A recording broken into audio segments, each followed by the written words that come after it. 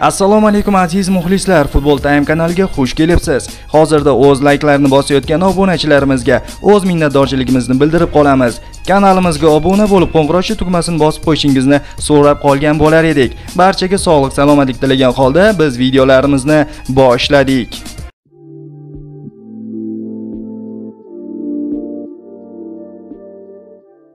Mbappedan zo'r deyilayotgan Vinicius Real Madriddan ketadimi? Joriy mavsum Vinicius Junior Real Madridning haqiqiy yetakchisiga aylandi. Braziliyalik o'yinchining harakatlari klub rahbariyatiga ma'qul kelmoqda. Yaqinda Real Madrid mutasaddilari Kylian Mbappe transferini amalga oshirishga shoshilmasligi, ular Vinicius Juniorni fransiyalik to'plardan kuchli deb bilishi va tarkibni aynan uning atrofida shakllantirish haqida xabarlar tarqatilgan edi. Shunga qaramay, Vinicius Madriddan ketish haqidagi xabarlar ham chiqa boshladi, chunki hujumchining shartnomasi yakunlanishiga 1 yil qoldi va tomonlar yangi kelishuv borasida bir to'xtamga kelgani yo'q. Vaziyatga 22 yoshli futbolchining agenti oydinlik kiritdi. Menimcha hozirning o'zida vinisius realdan 15 yil yoki undan ham uzoqroq qolishi ehtimoli yuqori chunki u klub tarixiga o'z nomini yozdirib qo'ymoqchi dedi vinisiusning manfaatlarini himoya qilayotgan agent. Minoksidillarimizni 5 10 15 16 prosentgacha bor. Ochig'ini aytganda 90 foiz odamga effektini beryapti.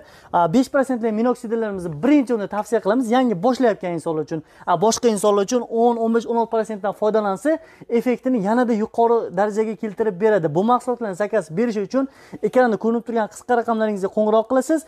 Mijozlarimizga do'konlarimiz bor. Moskvada metro avtozavodskiy peterda metro senday ploshad bemalol kelishingiz mumkin. Al hilol messiga 500 million yevro to'lamoqchi. Ispaniyaning mediapro kompaniyasi rahbari Jaime ruris al hilol va lionel messi o'rtasidagi muzokaralarning borishi haqidagi so'nggi ma'lumotlar bilan o'rtoqlashdi.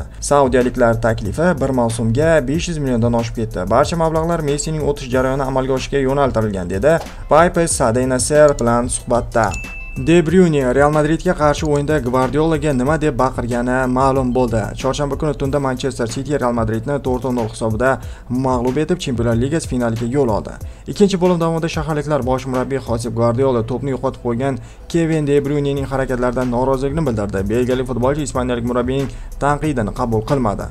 Ovozingni o'chir deb baqirdi De Bruyne Manchester City murabbiylar o'rindig'i tomon. Futbolchining so'zlari kameraga tushib qolgan deb yozmoqda Goal portali. Aytish joizki, futbolchi almashtirilgandan keyin Gvardiola De Bruyneni quchoqlab oldi. Ko'rinib turibdiki, murabbiy va futbolchi o'rtasida hech qanday muammo yo'q. Eslatib o'tamiz, Chempionlar Ligasi finalida Manchester City Interga qarshi bahs olib boradi. Barsa futbolchisi Gavi Real Madrid futbolkasini yerga uloqtirdi. Ijtimoiy tarmoqlarda Barselona futbolchisi Gavining chempionlik paradidagi xatti-harakati keng muhokama va munozaralarga sabab bo'lmoqda. Ma'lum bo'lishicha, g'alabani nishonlash chog'ida o'yinchilarga futbolka uloqtirilgan va uni Gavi tutib olgan. Bu libos ashaddiy raqib Real Madridning formasi ekanini ko'rgan Gavi uni yerga uloqtirdi.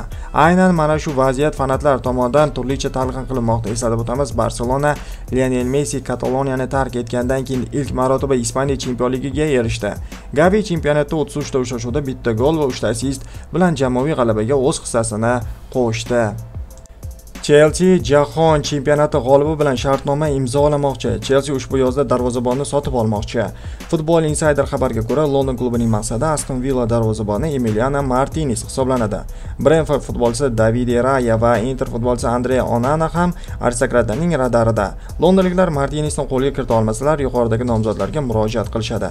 Dekabr oyida Emiliano Martinez Argentina terma jamoasi tarkibida jahon chempioniga aylandi. Transfermarkt portali mutaxassislari 30 yoshli futbolchini 28 sakkiz million yevroga baholamoqda.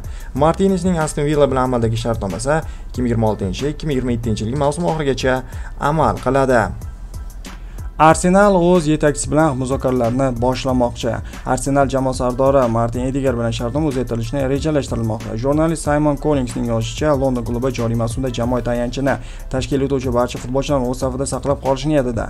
Ediger 2021-yilning yozida Arsenalga o'tgan edi. Joriy mavsumda 24 yoshli norvegiyalik yarim himoyachi sardorlik bog'ichini oldi. Joriy mavsumda norvegiyalik futbolchi Angliya Premyer Ligasida 15 ta gol va 7 ta gol uzatmani amalga oshirdi. Uning amaldagi shartnomasi 2025-yilning yozida o'z nihoyasiga yetadi UzReport TV futbol bo'yicha U20 jahon chempionatini jonli efirda translyatsiya qiladi.